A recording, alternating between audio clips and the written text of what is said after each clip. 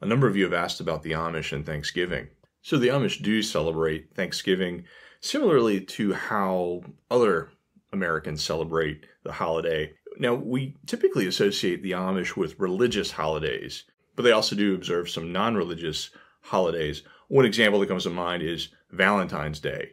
Uh, Amish will uh, have Valentine suppers. Children may exchange Valentine cards. The youth may exchange uh, candy boxes. So that's one example of a non uh, religious holiday, although most holidays the Amish will observe have a religious basis. Thanksgiving is one they celebrate. Now, another thing is we always say when it comes to the Amish, communities are different, so practices could be different in different places, or of course, between different families. But generally, it's a it's a day of rest. Most businesses are going to be closed, though that can vary. I'll get to that in a second. You're going to have a family time. You're going to get together for a big meal, of course, spending a day together with family, visiting. So businesses are going to be closed generally on Thanksgiving Day in Amish communities.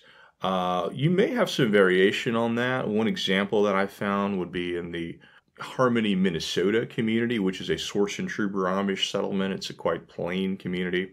Uh, there, they would just have uh, businesses closed on Thanksgiving morning. One of our uh, contributor, Don Burke, uh, found that when he visited the community at Clark, Missouri, that businesses were closed there. And he took some photos from around the settlement that day, which you can see here. He also noticed that some of the Amish were holding church that day, which is something that you'll see in some places on Thanksgiving. So that's it. Generally, the Amish celebrate similarly to non Amish people with the food and visiting. You know, you'll have family over, uh, different families may take turns hosting the meal so you may have your brother's family over one year, and you may go to your sister's home the next year.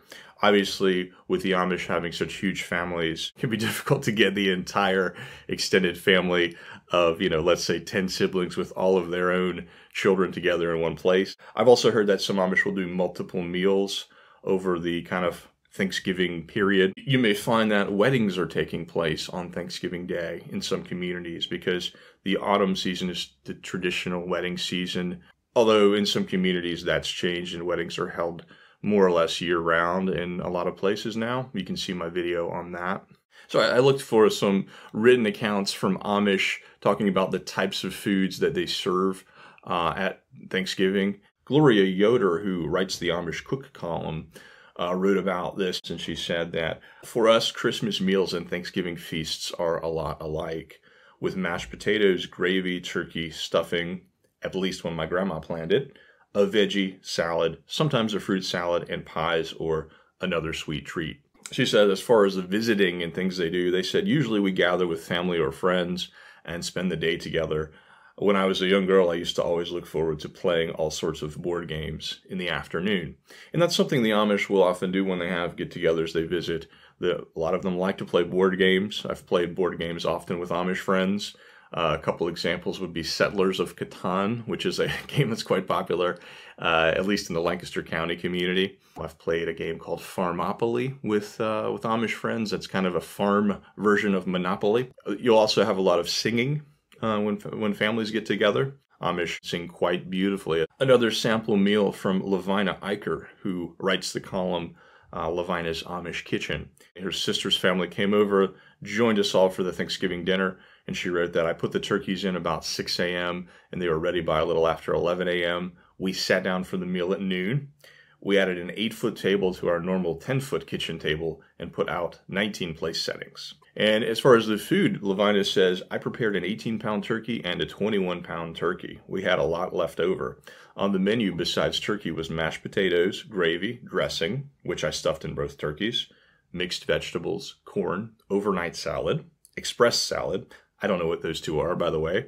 Dill pickles, hot peppers, sliced cheese, homemade bread, butter, strawberry jam, a cheese ball and crackers, veggies and dip, pumpkin roll, angel food cake, homemade Reese's bars, ice cream, and pumpkin, pecan, and peanut butter pies. So a lot of food there. She also says her sisters brought food as well, so there was more than enough. It certainly sounds like it. That sounds like a great feast. You may see some other events tied to Thanksgiving.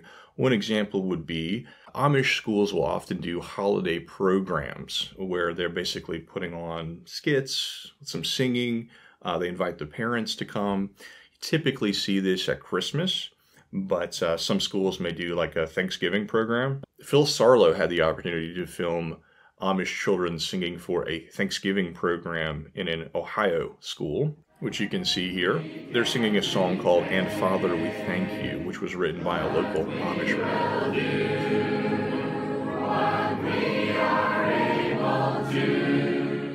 Uh, another thing I found some communities may, might do a benefit uh, event open to the public, specifically a, a, Thanksgiving dinner that would be intended to generate funds uh, benefiting the local Amish schools. Just a few days ago, as I'm recording this, the community in Bowling Green, Missouri, did such a dinner to benefit their local schools. It was basically on a donation basis. So they prepare some food, and the public can come and enjoy the food and leave a donation to help the schools. It's a nice example of Amish and non Amish coming together there for a nice event that has a good purpose to it. Another example would come from Gloria Yoder again. She wrote one year, uh, a few years ago, about a widow's dinner that they do in her community where they invite the women that have been widowed in the community to come for a special Thanksgiving supper. So, just some examples of other events you may see uh, connected with the Thanksgiving holiday. So ultimately, the emphasis of this day is on being thankful. Just a couple examples. I happened to be in Holmes County, Ohio uh, at around Thanksgiving time several years ago, and an Amish friend of mine named Myron shared a poem with me called I Am Thankful, a poem of Thanksgiving.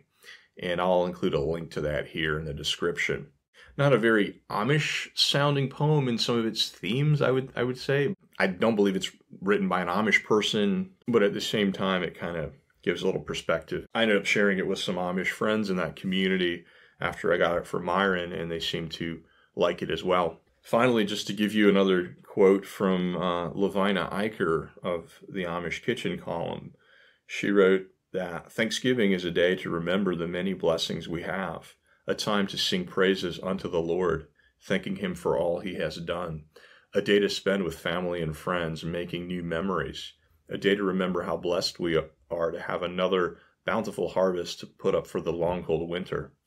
Do we appreciate our blessings enough? How often we take for granted that we have plenty of food and a warm place to stay. A holiday such as Thanksgiving Day is a nice time to reflect on all of our blessings, but let us also remember to thank God daily. With that, I want to say thank you to all you viewers. I really appreciate uh, you following this channel, watching the videos, leaving comments, uh, sharing your own experiences. I've really, I've actually learned a good bit of things from all of you. Um, I've appreciated all the kind words, uh, some of the good humor you've shared in the comments as well. So thanks a lot, and I, I'm really wishing you a happy Thanksgiving.